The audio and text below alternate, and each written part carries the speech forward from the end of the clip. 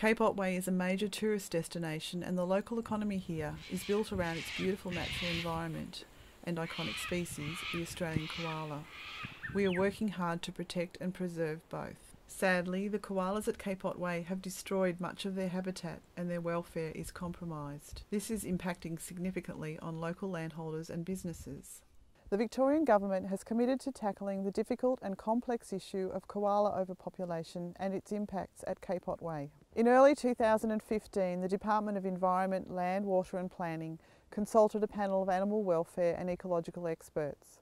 We sought advice on how best to proactively manage the koala overabundance at Cape Otway. The department now has short-term welfare actions in place and a pathway to long-term management of the koala overabundance at Cape Otway. Overabundance of koalas at Cape Otway is a complex, long-term issue brought about by their love of manna gums, their reluctance to change food source, favourable climatic conditions and an absence of predators.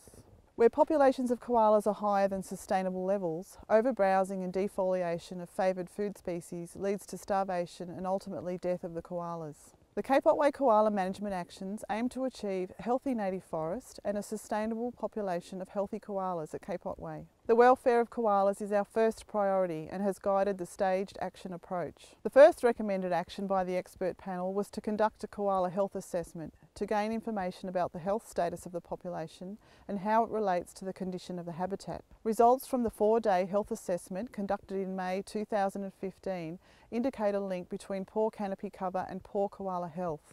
Of the 10 sites assessed, there were three sites where the koalas were found to be in poor health.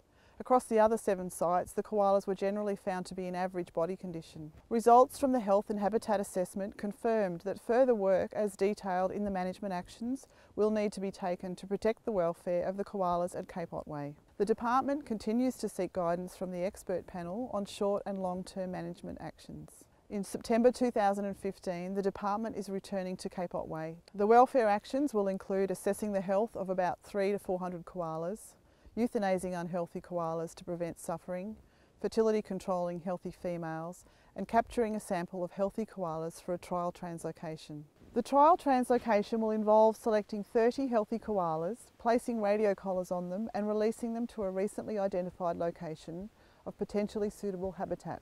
A further 30 healthy koalas with radio collars will remain in situ at Cape Otway as a control group for comparison with the translocated koalas. Throughout the trial, the movement, health and survival of the translocated koalas will be carefully monitored to gauge the suitability of the site for large-scale translocation of Cape Otway koalas.